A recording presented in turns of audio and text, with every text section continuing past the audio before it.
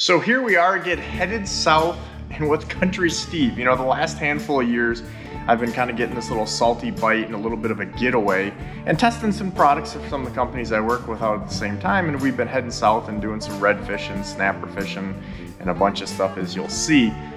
But Country Steve's got a place down there. So he's got, you know, as always, Country Steve, he's doing a little weaseling, a little angling there, and we've got some kind of insight as to, you know, where these fish are at, what's going on. He's got dialed in with the people that we're gonna be around. And, you know, having the lodging down there is really key because there's just not a lot there. And so having somebody that's prepared, has some stuff down there, he's got a bunch of G Loomis rods and reels, you know, Shimano stuff. And so it's, it's really a big advantage. But before we even get there, you know, we, the, the elephant in the room is when you look down there, they, they're post hurricane like barely a month. And there's just kind of death and destruction everywhere. Pretty much every single house that we drove in the couple hours that we went from New Orleans to, to the fishing deal is got a blue tarp on it. I want to sell blue tarps Country Steve said he wants to sell blue tarps down there because it's just crazy. The roofs are just damaged with all those super high winds.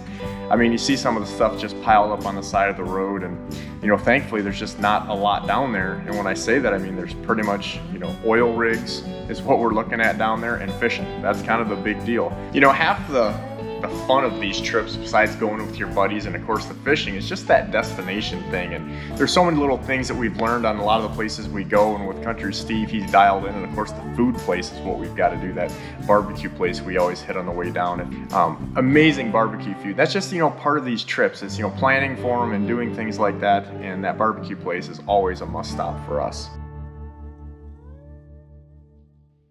Once when we're down there there's not a whole lot to do. So we get up super early there and we've got fairly long runs. So we're fishing in bay boats and we're starting off in that kind of delta, the Mississippi River basically mouth. And depending on the day, you know, we're heading out into the Gulf of Mexico, maybe 20, 30 miles, where we're fishing, you know, redfish maybe in the morning, depending on the tide or what's going on with the winds, maybe snapper in the afternoon, maybe the oil rigs in, in the late afternoon or morning, depending on the wind. So just like back home on the Great Lakes, the wind and the weather really determine what we're gonna do. But me and Country Steve, when we go down there, we like to kind of explore. You know, we've got no agenda, so we try to break up our days with maybe fishing for bull reds versus, you know, going for some table fare versus, you know, can we have a super nice weather day, so we're gonna go way offshore and try to catch some fish on the, on the rigs. We just break it up like that, and really leaving super early in the morning is pretty much a go get 'em deal because even when you're there like the time we are now, it's still god awful hot. I mean, I don't want no part of that place in the middle of summer. You know, gingers like me, we just like evaporate when it gets that hot. So, I mean, you just feel yourself sweating even in the fall or the springtime. You know, it's six in the morning, middle of the day, forget it. But early fishing also made a difference. A lot of our biggest fish were caught, you know, basically as the sun was coming up.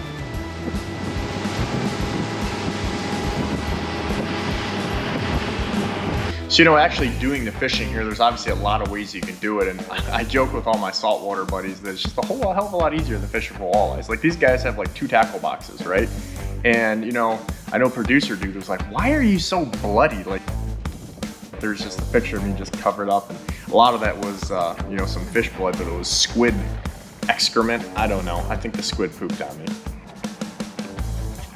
but we're cutting up squid and, and, the handful of times I've been there, we've definitely caught our bigger snapper on, on cut up squid. So whether that's timing or it's just easier or whatever, but I can tell you the stuff stays on the hook a lot better too. So we're basically fishing a couple different things. Like I started off with one of the guys had rigged up, basically I'm gonna call it a Carolina rig and that kind of sucked to be honest. So Country Steve, you know, he had a basically a three-way rig that was gonna allow that to kind of kick around in the current and the currents were crazy down there and you know we're putting 10 12 16 ounces of lead on to get to the bottom. So depending on where we're at we're anywhere from like 80 to like three or 400 feet of water. So getting down quick is really important especially when you're on those fish. I kind of compare it to like perch fishing. Like you got to get up and down up and down real fast and when, you get on those. And it's really important too because you'll notice we caught a shit pile of sharks. And those sharks you know most of them were small enough that they weren't going to like eat our snapper but you got to get up and down so fast because almost every drop you're just getting bit. So speed is key, and that three-way has been a handful of times that I've done that is always better, and, I, and I've won a lot of money on a three-way, so I really like those.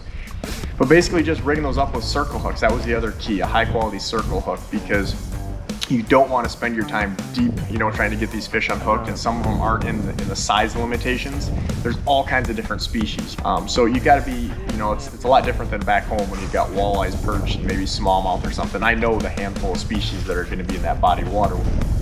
So if a guy keeps getting sharks, should he be doing something different? Nope. Just no. Hold your mouth Bite, different. what bites, bites. You know, a lot of people talk about Venice as being kind of the fishing or sport fishing capital, and I, I can't deny that it's it's definitely up there. But it's kind of like a lot of places I've been where a lot of the best fishing places have very little there. Maybe that's why the fishing is better because you don't have it as commercialized. But it's just funny to me as you go through there and there's just not a lot. It's it's a slow living place compared to what I'm used to and you've got these just million dollar boats everywhere. Guys paying three, four, five grand a day to fish offshore. Stupid expensive equipment. You know, we think our stuff is expensive as, as freshwater fishermen, but you see that stuff is really, really expensive. And then you've got like a lot of guys doing kind of like we do, where they're fishing out of the, the flats or the bay style boats, and they're fishing, you know, within 20 miles of shore because after all, it is literally the ocean and the Gulf of Mexico there. Um, you know, you've got big, big water, and it's just, it just you disappear really quickly. The amount of stuff that you see in the scenery is just absolutely beautiful. There's so much stuff as a as a fishy guy or guy that likes nautical type stuff. You know, those shrimp boats, all that good stuff, and it's just a really neat atmosphere for somebody that likes to fish. So, you know, as we head out to one of the uh, the wrecks there, I look over the side and I'm like a kid in a candy store. I just see fish everywhere. You know, it's just gin clear water. We're in 100 plus feet of water easily. And I look over the side and I just literally have a, a, a, shrimp on a bare jig. I drop it over and just like, I would say conservatively 50 to 100 fish just come plowing up on it. And they pick that shrimp clean so fast you couldn't, your, your head was spinning.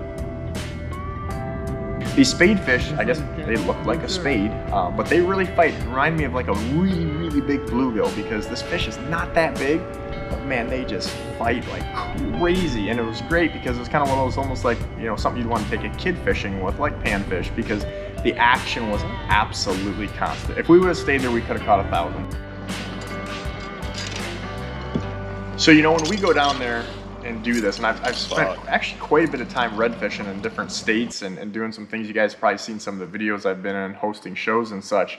And I don't know anything about it really, but there's not a lot to it. Those fish are just, they're cannibals, man. They just eat just seems like anything. But yet, you know, they can be very finicky. And basically, we were popping the cork, which is a really, really popular deal down there. So essentially, it's a popping cork, a short leader, and it's a jig with a plastic. Nothing super complex, but the thought is, is you know, we're in really dirty water. These fish are on big flats, and you want to draw them to you. So you're popping that cork. It also has to help suspend that um, that popping cork and jig. So we we're kind of using it like a pendulum. So long story short, you want to draw those fish to you, work that thing up and down, but not hang up. It's a super, super effective deal. And you know, it works well for bullfish, which are the, the big giant reds, or also the you know kind of slot fish that you can keep and eat. But we've tried this in, in some of the backwater stuff. But sometimes when the bite gets really tough, we'll take that popping cork off and kind of fish like we would walleyes. We're just using a jig with like a shrimp or some type of live bait. But this entire trip, the popping cork was the deal. Um, you know, these fish are getting ready to come and actually spawn in the fall time. So they're a little charged up and we were a little early because like everywhere, the water temperatures were warmer. But the fish definitely got fired up if you were in the right spot at the right time. And really a lot of this I, I compare to my, my experience on the Great Lakes where you just have just millions, quite literally, of miles, square miles. And it's like Lake Erie, like you find these fish in a one little area and that's where you gotta catch them. So that's where experience definitely comes in and just having to have a lot of you know, nooks and crannies that you know to look for when little differences in the environment change like the current or the tides.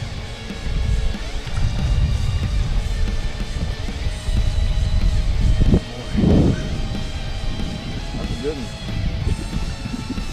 Billy, you don't put me on it.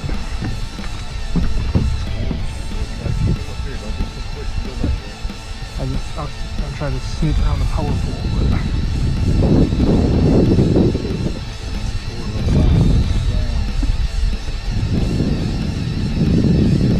Poop, poop, get him in the scoop. Yes.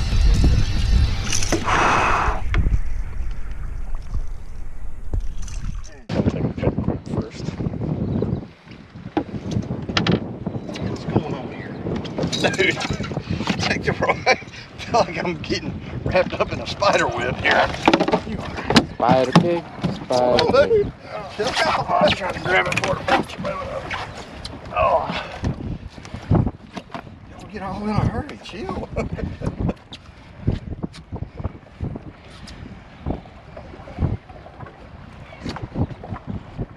turn the side. All right. Let this big mama bowl go.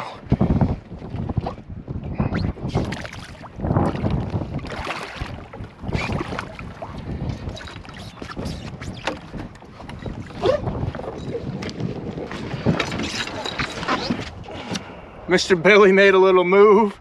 He says it's a 30, it's going bottom out the boga grip. Head first like a soccer star here. But we had a lot of fish over 20 pounds. I had some around the 30 mark. But I know when the guys that we're with, especially Country Steve, because he never wants to give me a compliment, but when he kind of starts getting on my way a little bit, and he's like, run to the back, you know, because he don't talk like that, I knew for sure then that I had a giant bull on, and that fish was in the mid 30s. I mean, just a giant fish. You know, I'm running back, and the other guys kind of helping pull up the shallow water anchors so I don't get cut off on those. And everybody, when you get a really big fish on, same thing in my boat. They do things a little different. You know, guys start getting a amped up a little bit more because they know that this is a big bull red no matter where you're at. You know, you need a little bit of break. And for me, you know, people are like, oh, you fish all the time. And, you know, there's a lot of pressure, you know, of, of, for what I do, guiding and, you know, promotional stuff. You got to catch fish. And when you got to catch fish, it's a whole different thing than just going fun fishing. So down there, the pressure's off. The fishing is usually pretty good even when it's tough. And with Country Steve down there, you know, got things dialed in, all set in. I pretty much just go along for the ride. I mean, he's kind of like my water wife, okay? Maybe he's the water husband in this trip, I don't know. But it's really nice to just kind of have, boom, make no decisions and go because it's been a chaotic year for everybody, especially me, and I'm really getting ready to get back into my chaos season here. And um, I won't have a time off until pretty much this time again next year. So hopefully you liked the video. Stay tuned, we got more coming for you.